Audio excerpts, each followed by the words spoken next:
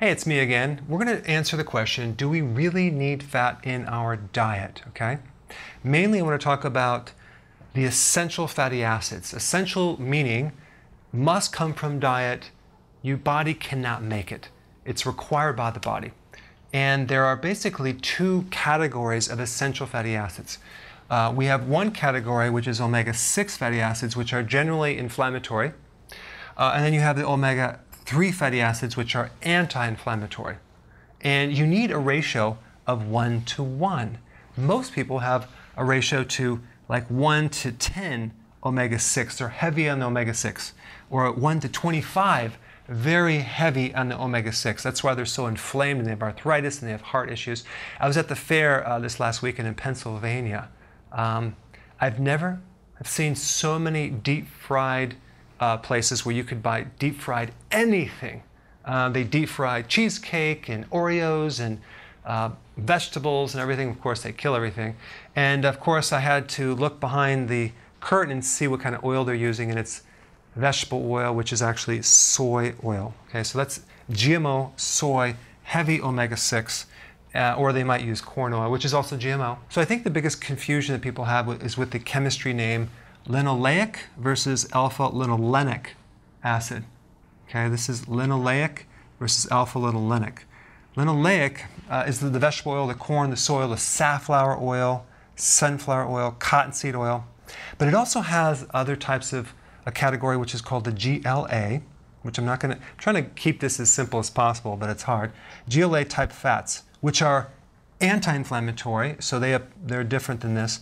But if you're consuming like um, an omega-6 borage oil, evening primrose oil, black currant seed oil. Those are anti-inflammatory. Those have a lot of health benefits, and they're very different than these oils. I mean, it's okay to consume some safflower oil, but um, the problem is like don't consume so much where you don't have enough omega-3.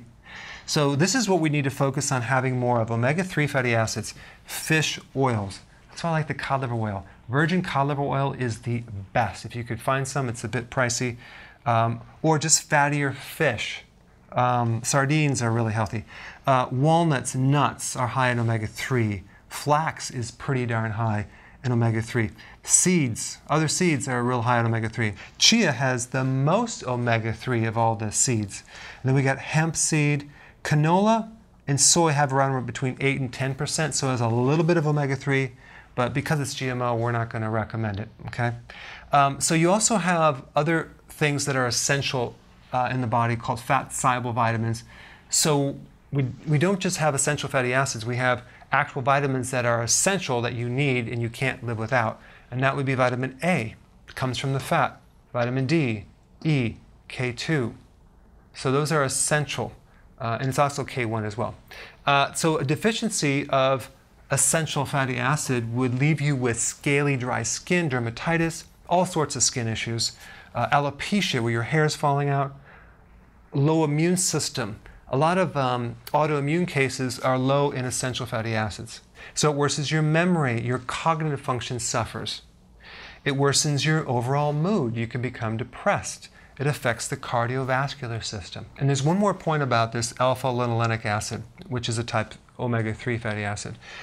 We need this raw material to be able to enhance the most abundant fat in your nervous system, in your brain, and your retina of the eye uh, to prevent Alzheimer's and Parkinson's and to prevent loss of vision.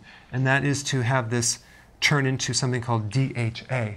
Okay, now you can get DHA directly from fish oils and egg yolks and other uh, fatty foods, but if you're trying to get them from vegetable sources and you have insulin resistance, you're not going to convert those into the actual fat that you need, so you might have a problem. So to answer your question, do we really need fat in our diets? Well, the answer is absolutely, but we want to make sure we have a ratio of 1 to 1 omega 3 to omega 6.